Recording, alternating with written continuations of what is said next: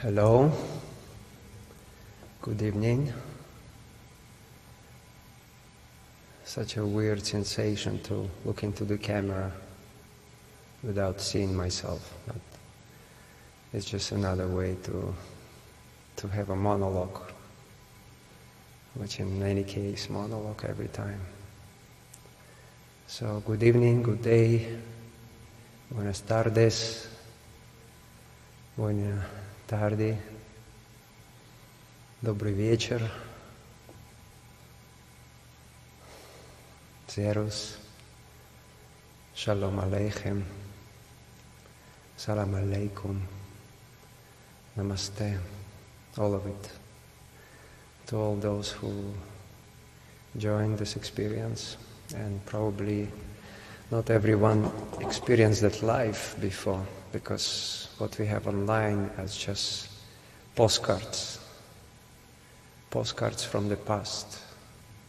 Some of them most strong, some of them loved by, by some of you, right? Some of them misunderstood, because we're not all of us can see the whole picture. Quite often we just see a postcard from the past,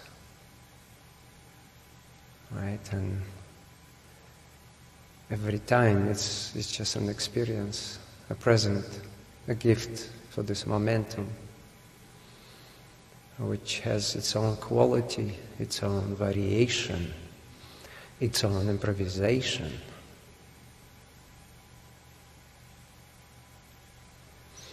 So just to add to, to these few words before I will start touching the strings, is that my story as a so-called musician started from receiving a gift.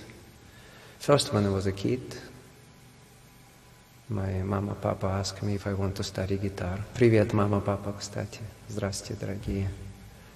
Спасибо вам. Um, so receiving this gift was like the first round of receiving.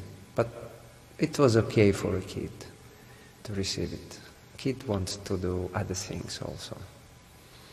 So it just happened to me that I had a wonderful human being, a teacher, who picked me up from, from that age, eight years old, and started to lay the foundation for what it would become. Uh, he saw my temperament and passion already at that age, so he would always find a program of different dances of the world. It could be Cuban dance, Brazilian dance, Arabic dance, Jewish dance, tango, uh, Spanish dance, rumba, it would be all kind of dances. Um, and then this kid left that kind of uh, musical world. He put the guitar aside for about 10 years. And then another round of a gift arrived. And then that kid picked it up and really felt as a kid again. He didn't care about the money, he didn't care about uh, um, the society around. He would sit on the street and play. And of course money was part of it, but it was not the, the only foundation for that exploration. So later, uh, when a phenomenon of changing the world came, because the kid saw himself outside of all this society thing, he would just see running people around wearing masks. You know, nowadays we visibly see people wearing masks. At that time, he would just see people wearing masks, looking like normal people. Sitting on the street, in this town, in that country, in this country, in this or that place, for about 10 years, sitting on the street. Then, of course, the kid received invitations and been playing festivals and big concert halls and exploring every time these infinite variations of a gift. Because what happens in a story when the gift is received? It needs to be shared. It has to be shared. It's not for the kid alone to have it. And so it happened that uh, this kid actually not used to do this thing in front of a wall or a camera or a studio even, because he can even play the same way every time. Every album recorded, it's a variation. Every live performance, it's a variation. Sometimes faster, sometimes slower, sometimes more dynamical, sometimes less. And when those watching it say, wow, here in this postcard you played great, but who have seen other thousands of postcards? Many. The kid been watching it. Or Whoever that is watching through the kid's eyes, breathing through the kid's heart. And so, tonight, we're going to explore two great aspects of a human life. One of a more so-called dramatic life. A life before 2020, I would call it.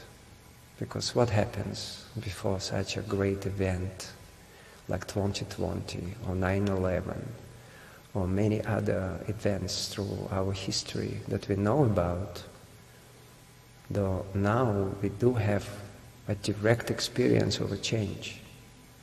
Change means something has shifted. It will never be the same. What will be directly requires our participation and creation. So life before 2020 or life before any uh, event that changes state of affairs, state of life, state of being. It's more like we walk in with the closed eyes, closed hearts, closed senses, and then something happens.